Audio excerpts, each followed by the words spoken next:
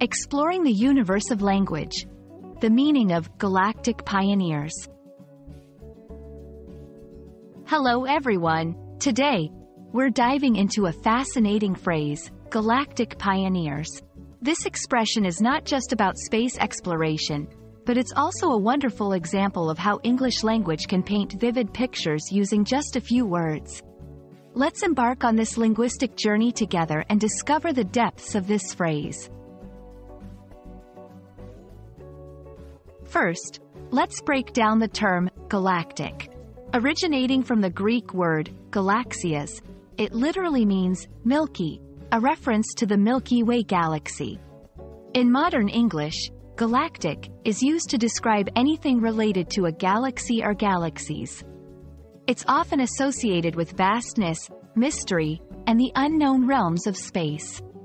For instance, when we say galactic distances, we're talking about incredibly large distances between stars and planets in the universe.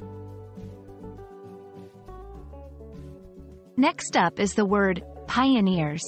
A pioneer is someone who explores new areas or is among the first to research and develop new areas of knowledge. The word conveys a sense of adventure, bravery, and innovation. Historically, pioneers were people who explored or settled in new lands.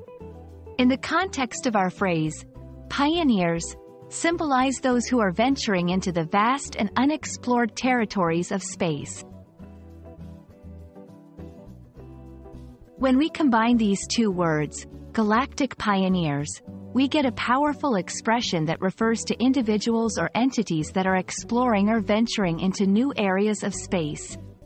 It's a term that embodies exploration, bravery, and the human spirit's quest for knowledge.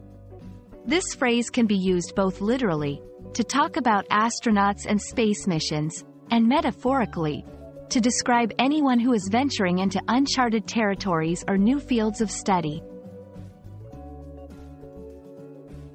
While galactic pioneers might sound like it's straight out of a science fiction novel, it can be used in various contexts.